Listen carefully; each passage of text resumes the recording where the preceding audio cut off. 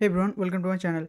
So I recently installed a new OS which is Archcraft in this machine and then I was setting up a project and I just realized that Git is not set it up in my machine so I was setting it up. And so basically I was you know uploading uh, my ranger configuration to my github. And while doing that I found that my git you know was not set up so I was setting up the git. And I found that like a cool little trick that many people don't know so i wanted to share that. So like when you you know git uh, set your email address and then your name to your git config global section right?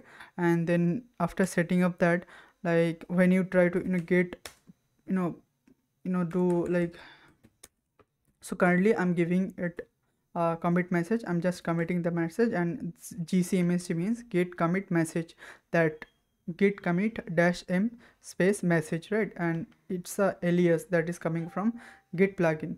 So after if i hit enter you'll see that it is committed right now. And if i do git status you'll see that currently on main branch nothing to commit working tree clean. That means every file is committed right now right?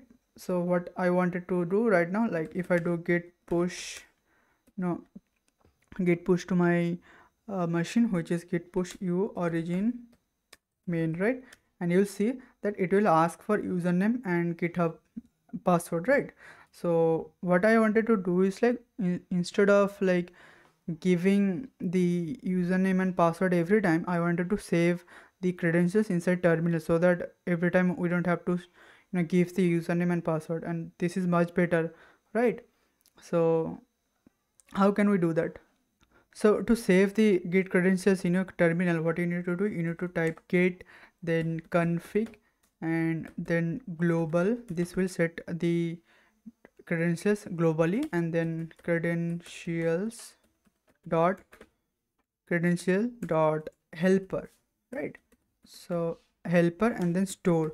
So there is a git store where this uh, credentials will be stored. So now if you do git pull git merge git whatever you want to do and the credential will be saved to this location which is pretty awesome right? And keep in mind that like if you are using your machine with someone else that means if you're sharing your machine you should avoid this because uh, it saves these credentials in a plain text by the way.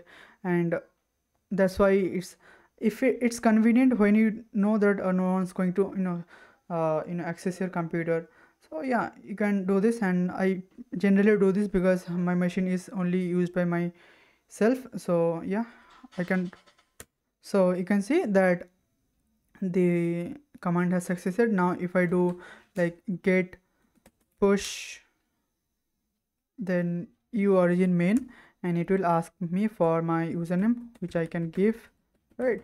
And then it will ask for password.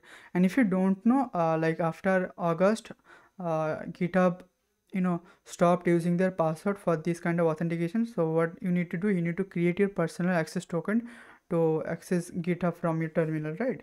So i have my personal token. I will just enter that. And you can see that i can easily you know uh, commit my full folder to my github repo right?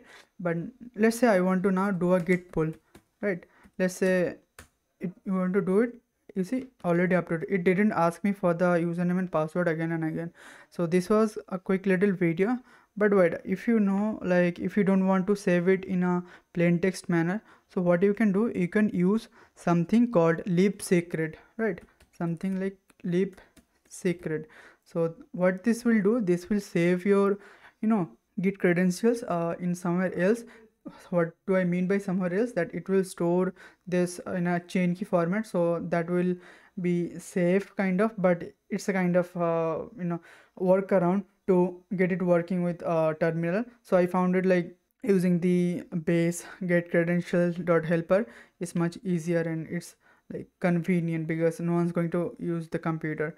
So yeah that was it. And by the way guys like try to use linux every time right? If you're in windows or any other os like try to switch uh, to linux if you're like developer or you know in a computer science anything. So it will help you to you know grasp things quicker in the long run.